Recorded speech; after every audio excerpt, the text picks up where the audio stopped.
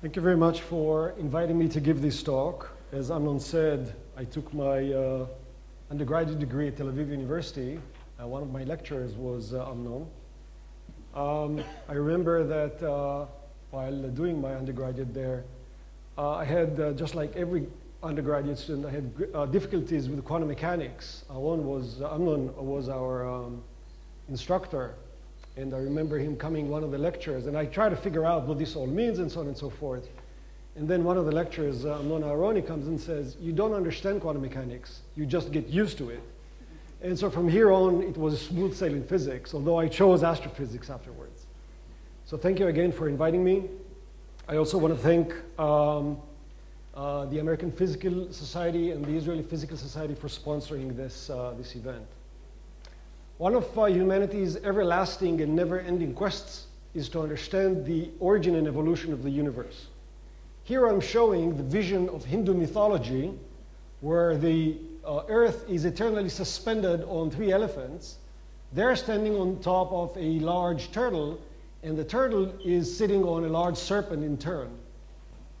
Today we know that this is a rather crude uh, approximation of reality. We have a, a modern a much well established observationally um, and different model of the evolution of the universe. Uh, according to this model, the universe begins at a hot and dense phase. Within the first fraction of a second, um, it, it uh, expands immensely through an inflationary period and then continues expanding at a slower, uh, at a slower rate. Quantum fluctuations during the epoch of inflation become matter density fluctuations that later collapse under the influence of gravity to form the structures of the universe that we see today, including the cluster of galaxies and everything else we see out there. One of the strong contributions to this model comes from measurements of the cosmic microwave background. So we're going to concentrate our attention on the universe. Oh, that's not. Uh, sorry? So we're going to concentrate our attention on the universe as it is at about 400,000 years after the Big Bang. This is a time axis. This is a temperature axis. The temperature is just about hotter than 3000 Kelvin. The universe is composed of electrons and protons. It's a hot plasma and much more numerous photons. The photons keep scattering from the electrons. And uh, every time a proton tries to combine with an electron to form hydrogen, um, the large number of high energy photons break it apart, and the universe is a plasma, as I said. As the universe expands, it cools, the temperature and the temperature drops below 3000 Kelvin, the number of high energy photons su drops sufficiently that now electrons can form with protons, can combine with protons and form hydrogen. Whereas the scattering cross section between free electrons and photons is very large, the scattering cross section between a photon and a hydrogen atom is orders of magnitude smaller. Effectively, the universe has become transparent to these photons, and since that time onward, they stream through the universe freely into our telescopes. This is called the, the cosmic microwave background. These photons are the cosmic microwave background radiation. Before this epoch, which is called the epoch of decoupling, the decoupling of radiation and matter, the universe is in thermal equilibrium. This is also called the surface of last scattering. What are the CMB observables? What cosmology do we learn from the CMB? Because matter and radiation are in thermal equilibrium, you expect the spectrum of the radiation to be that of a black body. And indeed, we observe a very nice black body. It is quantifiable in terms of a single parameter of the temperature, 2.725 Kelvin. The peak intensity is about 160 gigahertz, a wavelength similar to the microwave oven in the kitchen, about 2 millimeter. We also see that the universe, that the sky is extraordinarily uniform, 2.725 Kelvin, within a small fraction of a degree. Um, at higher resolution and temperature, we do see fluctuations, but they too are quite uniform across the sky. It's about 200 microkelvin plus minus across the entire sky, but pretty uniform. You don't see one Kelvin here or minus three Kelvin there. just about 200 microkelvin plus minus across the entire sky. Our image of these fluctuations has sharpened with many experiments um, since COBE, uh, and including three satellites, including COBE. Um, here I'm focusing our attention on our own measurements in 2000. Um, at the time, at the time that we made these measurements, um, these were the highest resolution images over the largest pieces of the sky available at the time. Um, and Science Magazine called them one of the most important breakthroughs in science for 2000. Since then, of course, we had uh, the images from the WMAP satellite in 2003 at a resolution that's roughly the same as the Maxima experiment, but over the entire sky. And just last year, we have the measurements from the Planck satellite uh, at yet even higher resolution. What are these fluctuations? The cosmic microwave background is so rich in information because it is a boundary condition for everything that happened in the universe from the Bang onwards until about 400,000 years. It is sensitive to the initial conditions to the quantum fluctuations at the epoch of inflation. It is sensitive to the matter con constituents in the universe, baryons, dark matter, dark energy, neutrinos, whatever you have in the universe. And it is sensitive to the interactions that had occurred between the initial conditions, all the matter constituents, to embed the fluctuations that we see in the cosmic microwave background today. But that's not only it. The cosmic microwave background is also an initial condition for the structure formation that occurred since the epoch of decoupling onwards. Here's an example for uh, the sensitivity to initial conditions. Why is the universe so uniform as we see it in the cosmic microwave background? Why is the temperature so uniform? Why are the fluctuations so uniform? The, uh, the only explanation we have at the moment for this uniformity is the paradigm of inflation. Here's how this goes. Imagine that there are three observers in the universe, we, Joe, and Jane, sometime after the Big Bang, shortly after the Big Bang perhaps, and I've positioned those somewhere else in the universe far from us. At this time after the Bang, Joe's causal horizon and ours and Jane's is determined by the speed of light and the time since the bang. This is shown here as the purple circles. Of course, we are not communicating with Joe and Jane because our causal horizon is smaller than the distance between us. Sometime after the bang, maybe half a bit, five billion years after the bang, the causal horizon grows. We're still not communicating with Joe and Jane. This is the universe today. Today, we're just, eh, photons from Joe and Jane are just arriving to us. But Joe and Jane never had any chance to communicate in any physical, physically meaningful fashion. How is it that when we look into Joe's direction or into Jay's, Jane's direction, we see exactly the same universe? The temperature is uniform, it's same temperature, the same intensity, and the fluctuations are roughly the same. Joe and Jane had never had a chance to communicate um, information in physics. The only explanation that we have for that is the paradigm of inflation. And here's, a, here's inflation in one slide. Imagine Joe at the beginning of the universe, and that's Joe's causal horizon, and he's having a nice cozy lunch with Jane. It's uh, nice and hot over there because it's very close after the bang. Nevertheless, um, Joe shows Jane his meter stick that he uh, just bought at the market earlier that day. It's one of those tape measures that has tick marks on it. As soon as Jane holds the other side of the tape measure, the universe enters inflation.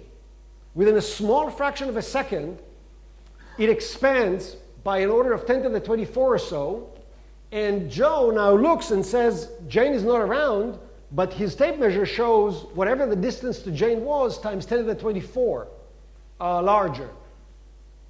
This uh, ruins the evening, but it does have the effect that for many billions of years afterwards, in fact, at least for 14 billion years afterwards, as Joe's horizon grows, the universe that the horizon encompasses has at some point in the past shortly before inflation, been in causal contact. That's why the universe that we see has the same physics all around us. because at some point in the past, it was causally connected. But the initial conditions that inflation is not the only thing that's, uh, the uniformity is not the only thing that's explained by the cosmic microwave background uh, by the fluctuations. In order to say more, we have to encode the fluctuations in quantum quantifiable manner. The way we quantify the fluctuations is by expanding them in spherical harmonic across the sky. Then we take the power coefficients of the spherical harmonics, square them and sum over the azimuthal number m, because there's no preferred direction in space, and we end up with a set of numbers that we call CL.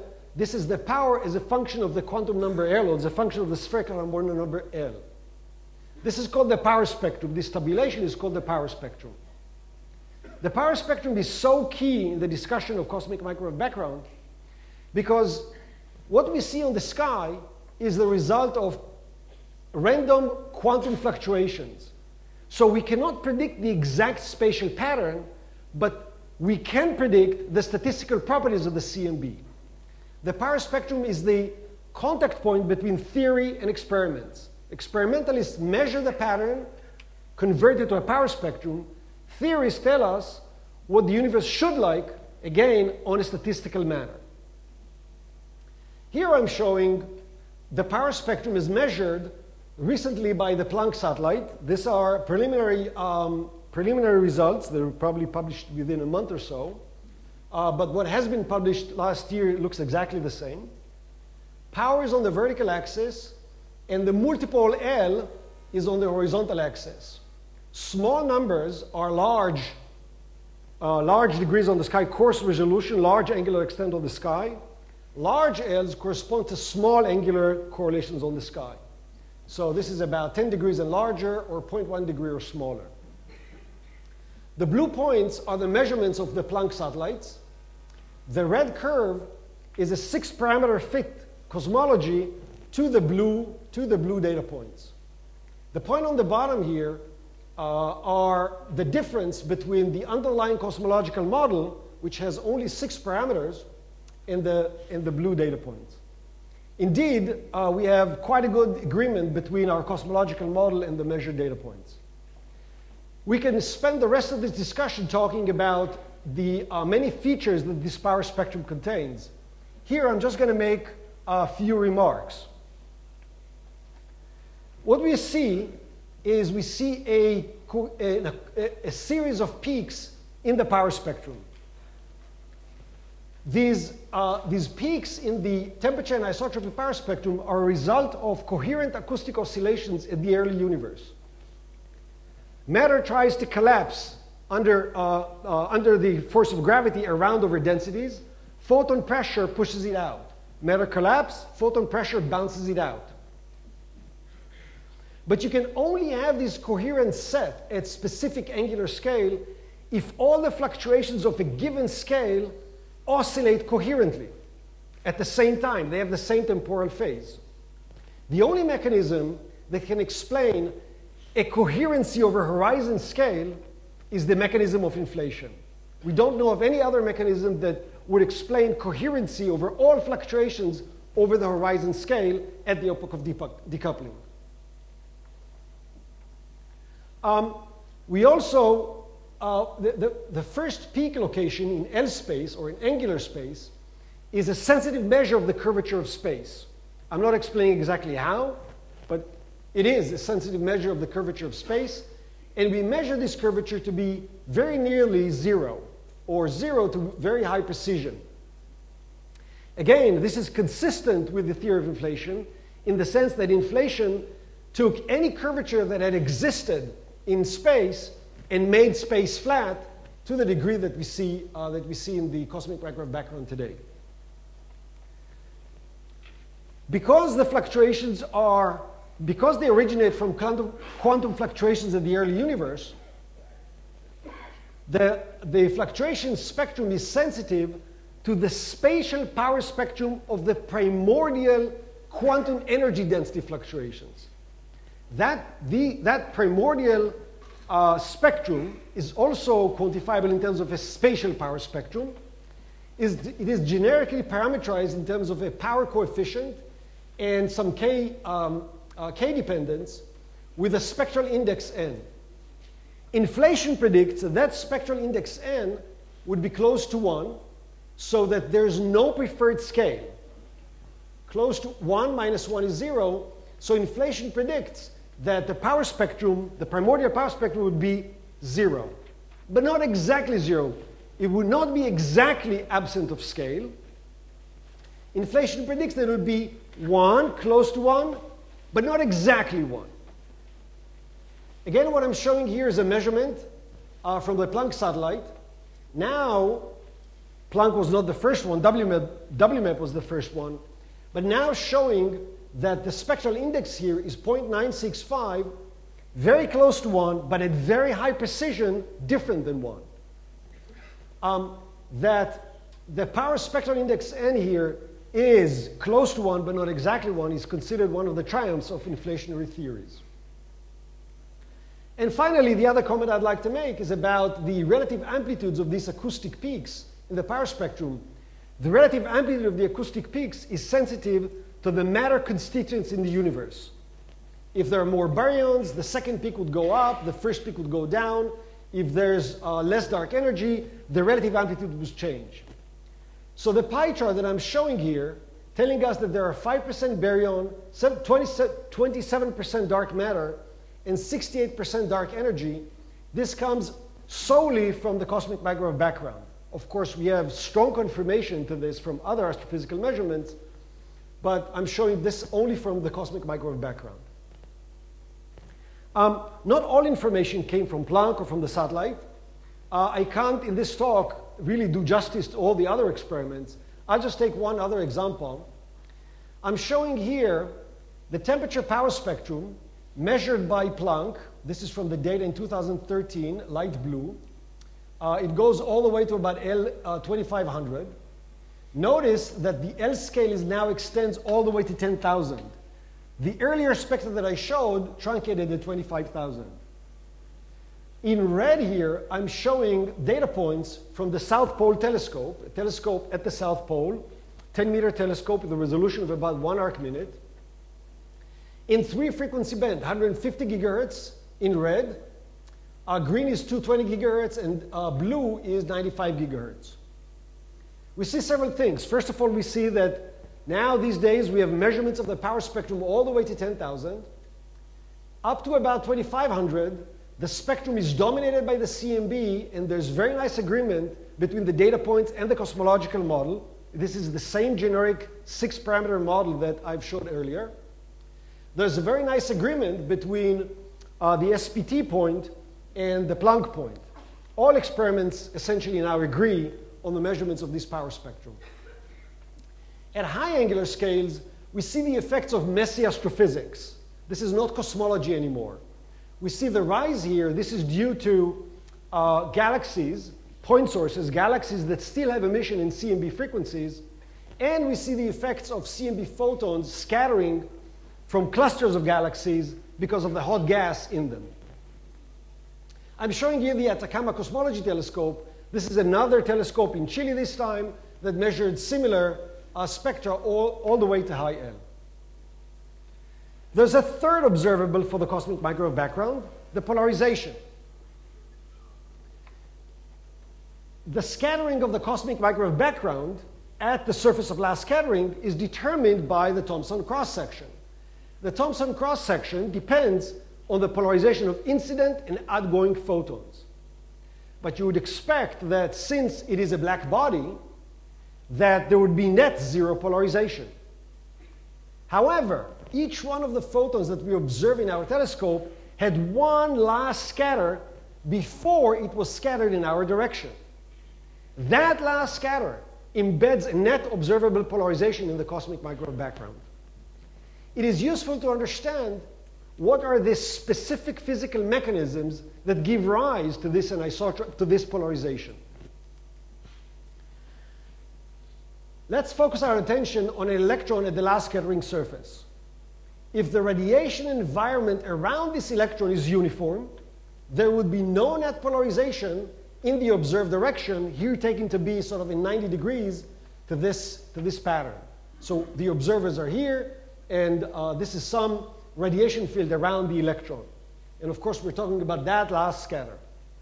However, if there's a quadrupole temperature anisotropy around this electron, let's say it's hot here and here and cold here and there, more intensity here, more intensity there, less intensity here, less intensity there, then you can see that a net polarization would arise along the cold direction.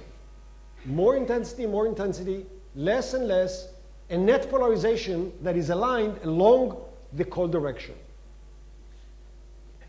Other multipoles, you could see by symmetry that other multipoles would not contribute anisotropy. For example, a dipole anisotropy, let's say hot and cold, that would cancel out and there would be zero net polarization. The same goes for the other multipoles. There would be zero net polarization.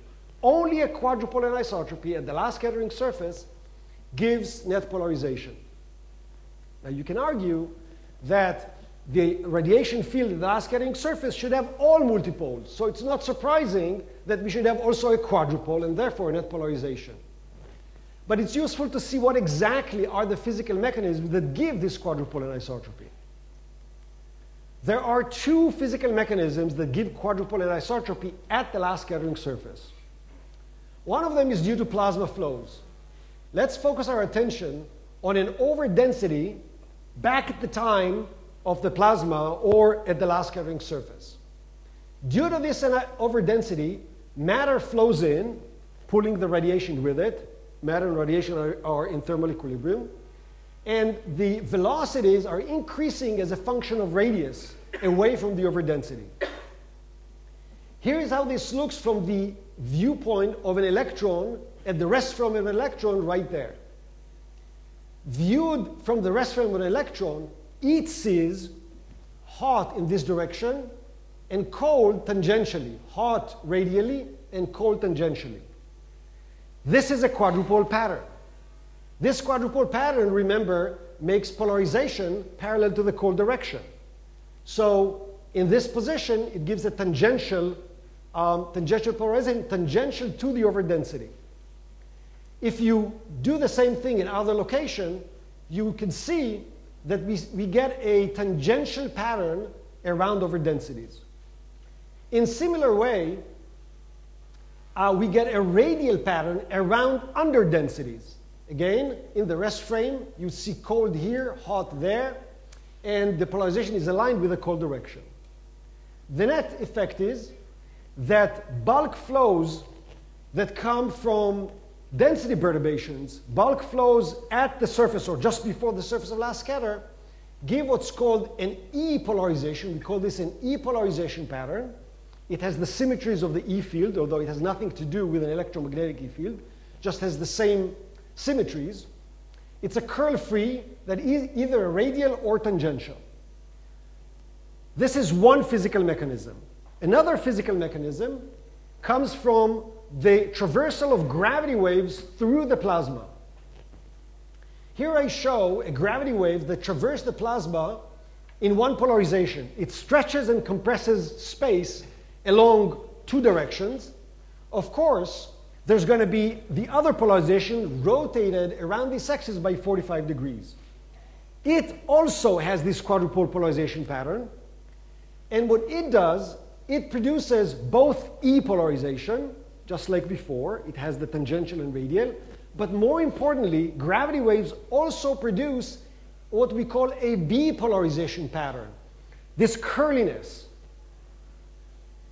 Um, so gravity waves produce both E and B.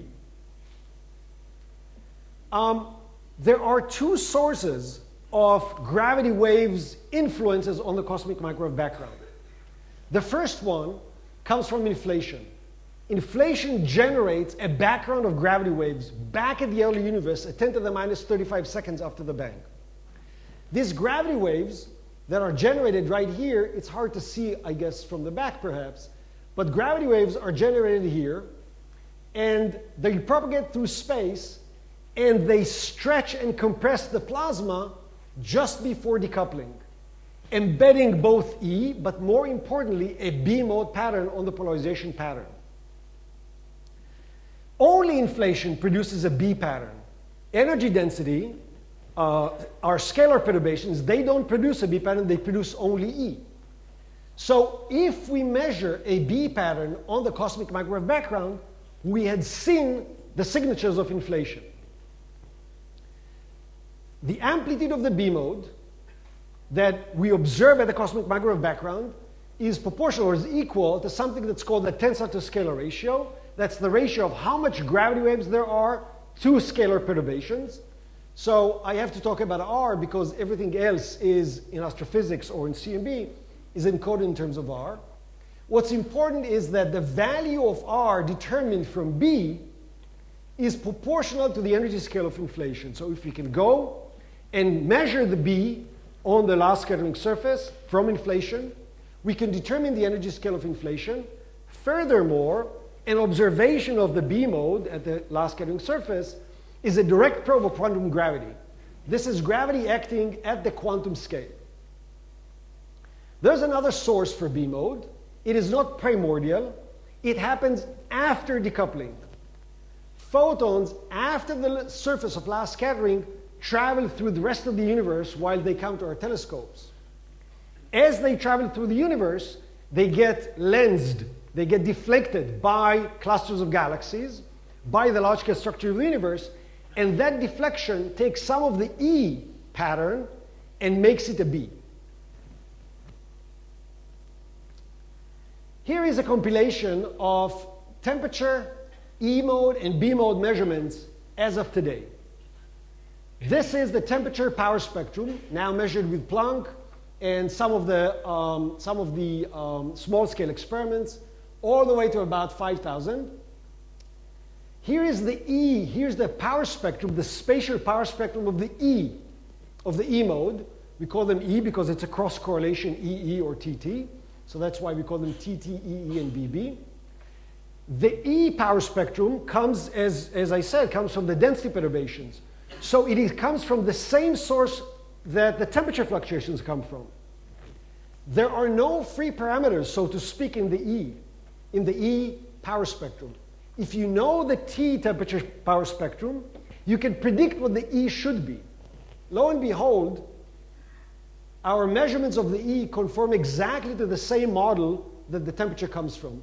These black curves are exactly the same cosmology. Someone has coined several years ago the term of precision cosmology. This is indeed precision cosmology. Down here, I'm showing recent measurements as of the last year from B mode measurements.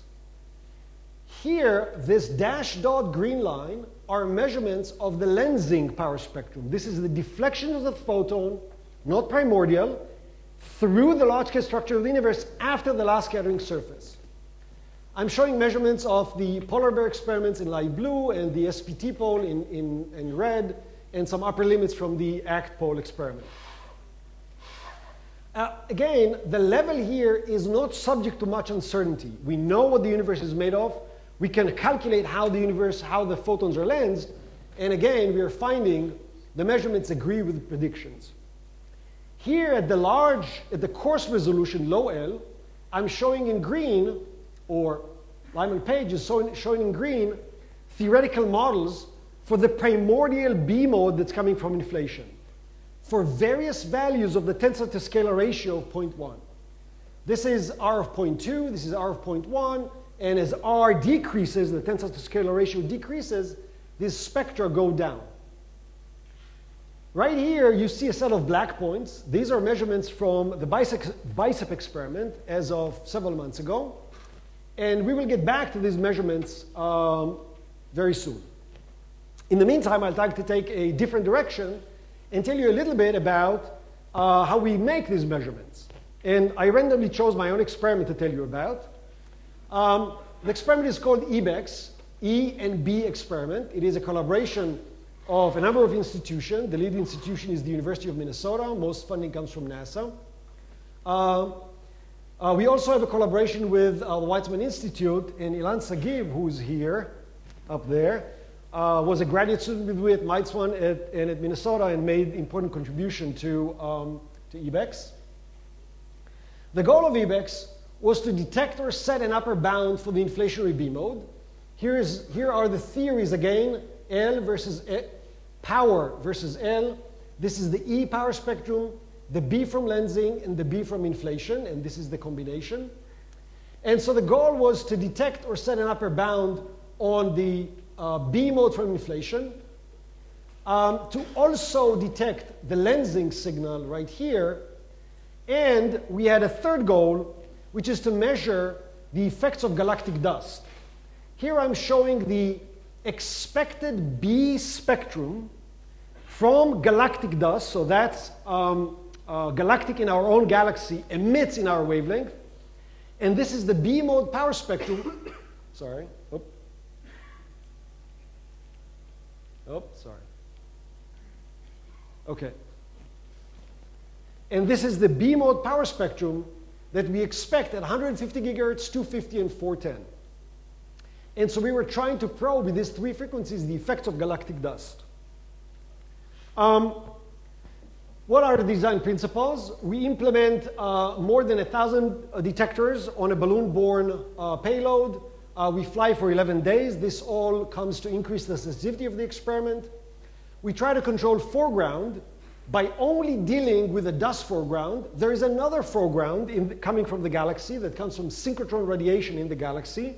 Free electrons flying in the magnetic field in the galaxy produce synchrotron radiation. Uh, but at 150 gigahertz, our lowest frequency, the contamination is expected to be very low. So we wanted to be dominated only by dust.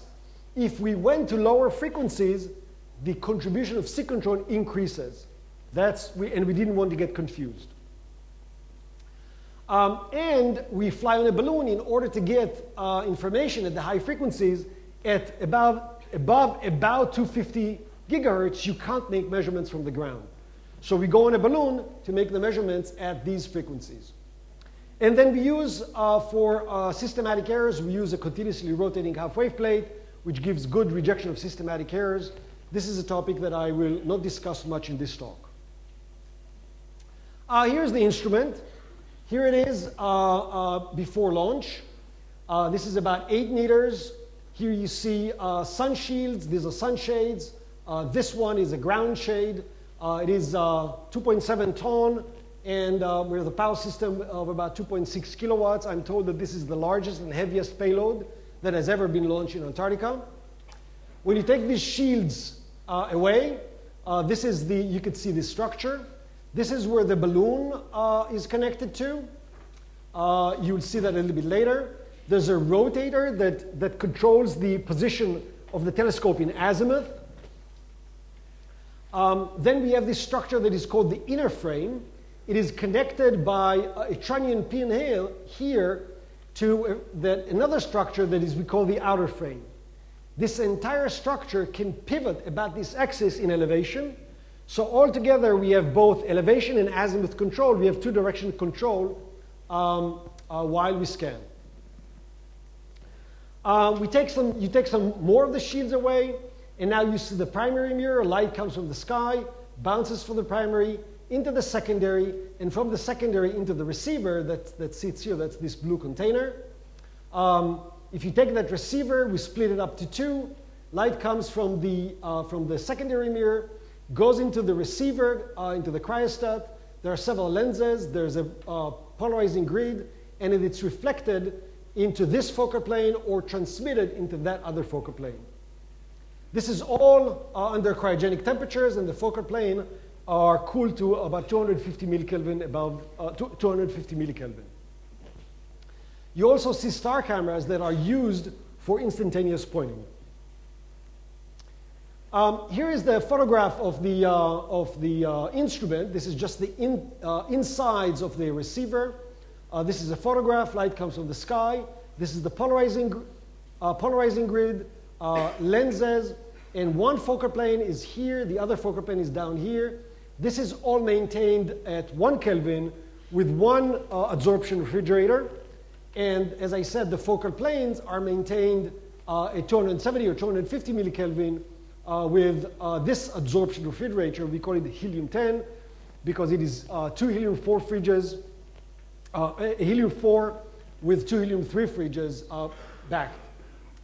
Um, before, uh, now I would like to concentrate on the focal plane and shows you how the focal planes look like. But before I do that, I want to highlight that when COBE flew uh, in 1989, it had only two detectors. When we flew Maxima, uh, several years later, we had four detectors. WMAP in 2000 had 20 detectors, and Planck, that is now producing results, had 72 detectors. Um, only 54 of them are polarization sensitive. This is one of two focal planes that we have on EBEX. What you see here are seven silicon wafers. Each black dot is an independent polarimeter, is an independent detector. Um, we have four uh, wafers, four silicon wafers that are tuned to 150 gigahertz, two at 250 gigahertz, and one at 410. And as I said, we have two such focal planes. This is about 30 centimeter in, 30 centimeter in diameter. When you zoom on one of those wafers, this is what you see. Now each white dot is, uh, is an independent detector. And you can see these streets, these are the wires leading from wire bonds into each one of those detectors. A further zoom is a zoom on a single detector, which you see here is a spider web. The white, you can imagine, is just empty space. It's not really, but you can imagine that it's empty space. The CMB photon is about that long. It comes, the spider web is metallized by metal, by gold, and the CMB photon comes and essentially sees a sheet of metal and gets absorbed. Um, if you zoom in the middle, you see a transition edge sensor. This is essentially a heat detector. The CMB photons absorbed, warm up the entire web, and we measure the either higher or lower temperature with a transition edge sensors that is operating on the transition edge of, um, of a superconductor. This is an aluminum titanium proximity sandwich. It's a TC of about 450 millikelvin. We measure changes in resistance of about 50 microohm by measuring the change in current with voltage bias, and we measure slight changes in current of about 10 picoamps with SQUID amplifiers, and we multiplex about 16 such detectors into a, a pair of wires. In total, we have about uh, more than 1,000 detectors in the focal plane. Here's the focal plane when it's all constructed. Here are six of the seven wafers. The seven wafers does go in the middle just not photographed here. And this is all constructed together uh, with filters and everything just before, just before flight. Um, when you run a program like this, you run into sort of all sorts of odd situations. This is from our test flight in 2009. We launched in Fort Sumner, New Mexico, and the payload flies all the way west to, uh, to the border with California. And sort of when the sun sets, you see a big uh, light bulb in the sky because the sun illuminates the balloon. And of course, immediately, there's a bright, unidentified foreign object over Phoenix, Arizona on the 11th of June. Did you see the huge bright UFO over Phoenix, Arizona? This is www.realufo.net. Um, I don't know if you could see from back there, but this is even a picture, and the, there's a white dot right there. That's our balloon that's a photograph from 80 miles away from Phoenix, Arizona.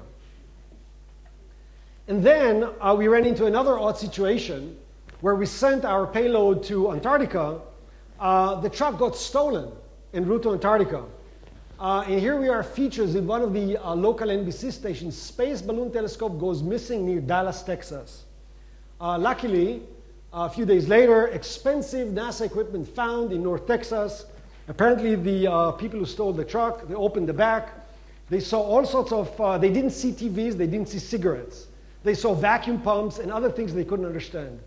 So they took a ladder and a fan and a bike and left us alone. So, in the end of all of this, um, uh, in the end of all of this, uh, we are in Antarctica. And, um, and uh, this, is the, this is the launch of the experiment. Here is the bubble. And uh, I'll pause this momentarily.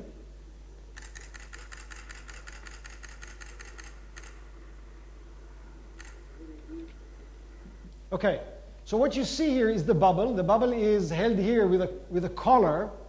The balloon extends all the way to here. Uh, the balloon extends all the way to here. From here, there's a parachute that is connected to the payload. This is the payload on the launch vehicle. This is Mount Erebus. It's a active volcano. Uh, this is, uh, it's, it's bubbling fume all the time. It's a beautiful sight. It's one of those uh, active volcanoes that has lava all the time coming out. It's not bursting. It's just bubbling all the time. Uh, this is a, uh, a dead volcano, Mount Terror. And right behind Mount Terror, on the other side of the mountains, is uh, one of the largest emperor, ping, em, emperor penguin hatcheries. Um, so if any one of you have read books about um, uh, visiting those or have seen the penguin movies, it's right behind these mountains. At any rate, um, what they're trying to do is they're trying to align the flight line uh, straight up with the payload and then release. So you'll see how this, uh, how this happens.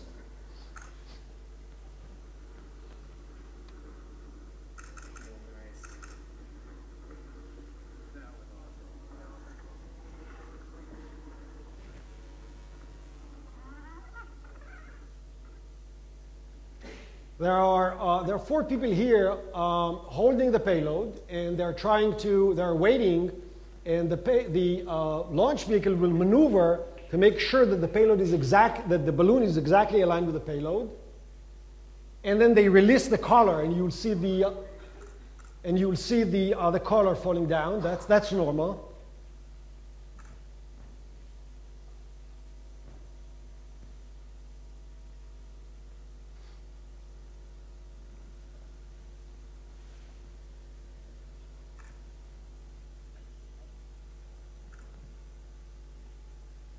So these are, uh, this is one piece of the collar, and then you see another piece falling down here.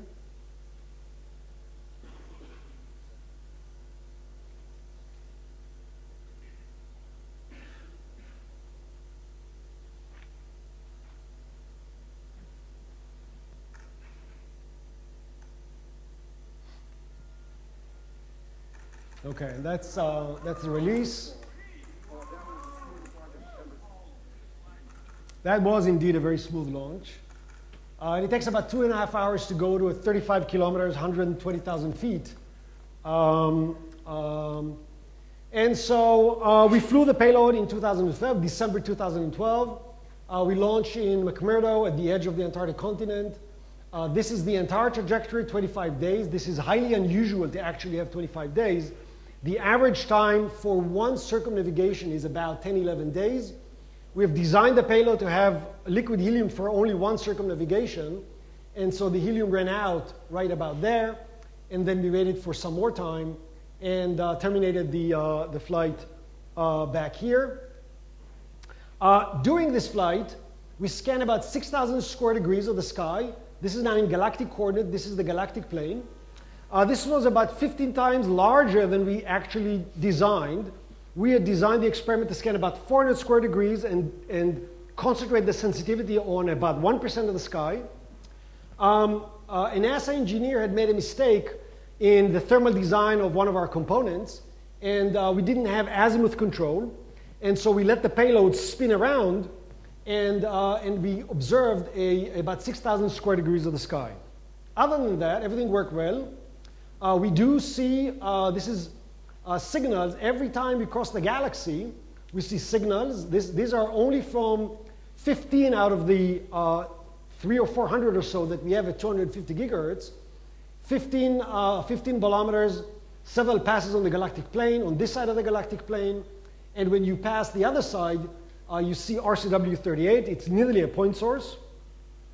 So we do see galactic sources. Um, here uh, we see some preliminary analysis of the data. Uh, this is a depth map, the sensitivity at 150 gigahertz.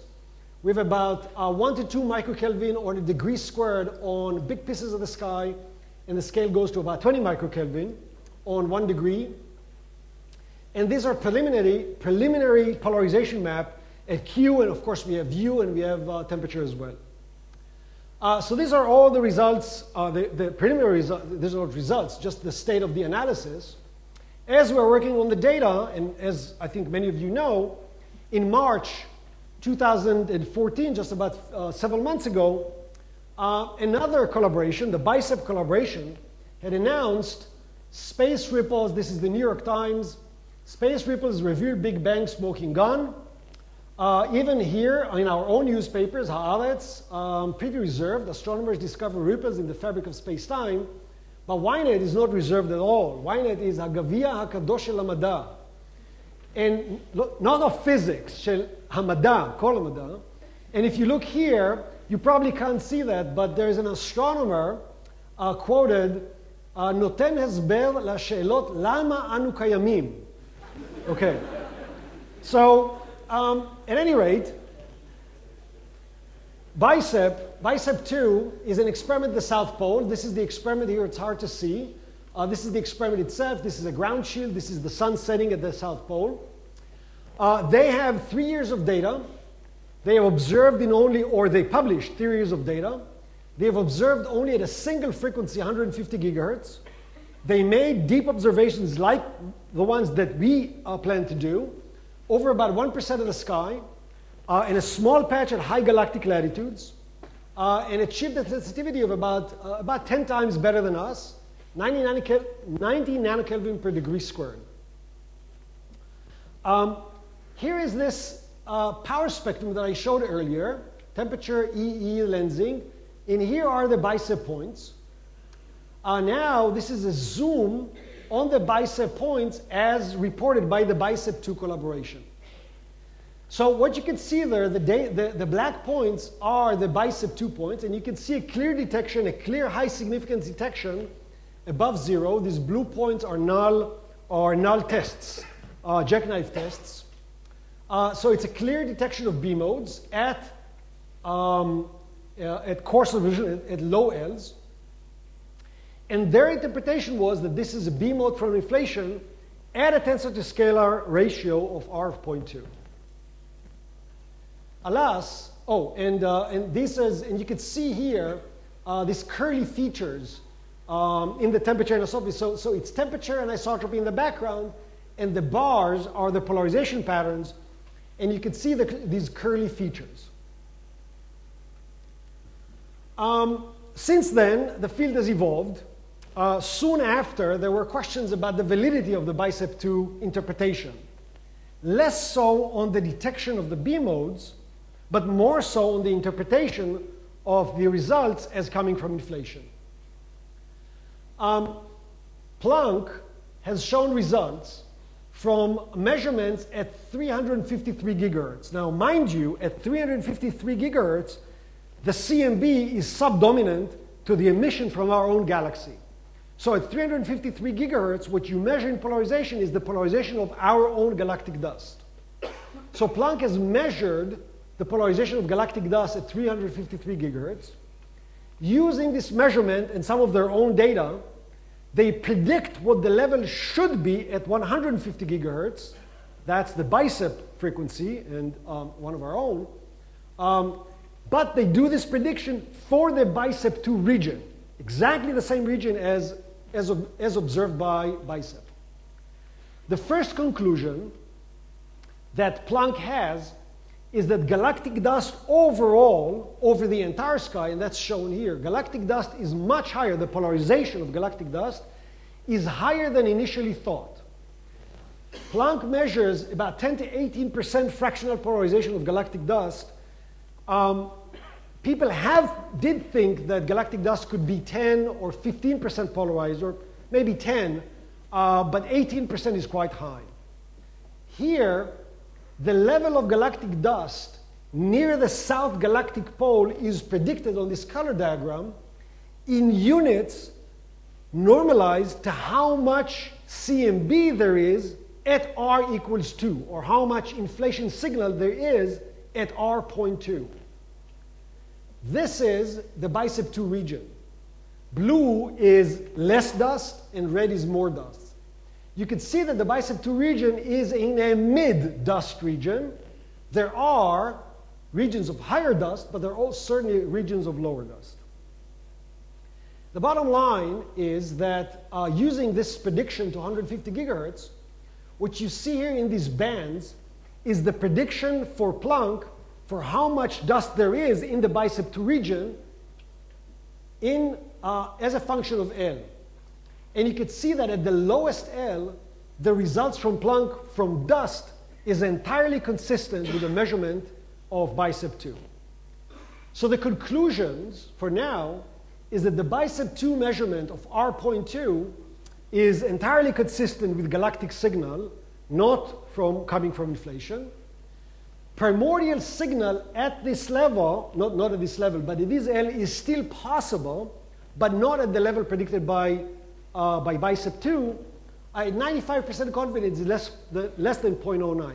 So BICEP 2 may still have seen B mode from inflation, but not at the level that they claim. Um, what is there? Yep. Okay. What is there for us in the next decade? Uh, just in about a few weeks from now, Planck will release its CMB polarization results, end of January.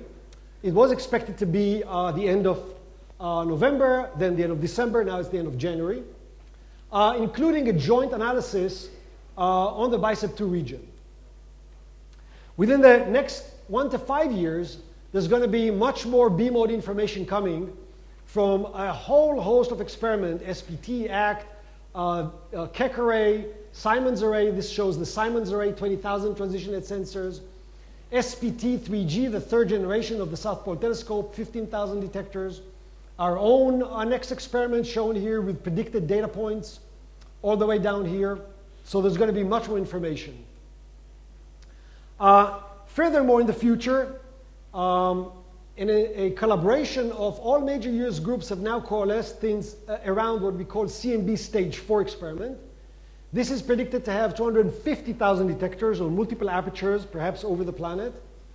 Um, and here we show the level predicted of 0.001 as an error on the tensor to scalar ratio in R. And this is for various configurations of the experiment. All of them are better than our predicted level of 0.001. This is our target goal for the next uh, five to 10 years. Um, this shows constraint of the neutrino mass. Uh, because of time, I will skip that. I can get back to that. Uh, what about a fourth generation satellite? Uh, there is an ESA uh, deadline for submission of proposals in a, just about two, or three weeks from now. Uh, we're going to propose together with ESA, together with European collaborators, Core Plus, and, uh, and JAXA has this predicted, um, has a, a proposal um, for a LiteBIRD. And what I'm showing here is the LiteBIRD sensitivity way down and again at 0.001. So to summarize, the cosmic microwave background has already provided a treasure trove of cosmological information. B-mode polarization will tell us about the physics of the Big Bang and about quantum gravity. Measurements will certainly be limited by foregrounds and potentially by the B-mode lensing signal. Uh, this is shown here. This is shown here. This is the lensing signal. And if you have that sensitivity, any measurements of R at this level is limited by lensing down here. B-mode lensing will give us constraint on the sum of the neutrino masses, and you should certainly expect more in the coming decade. Thank you very much.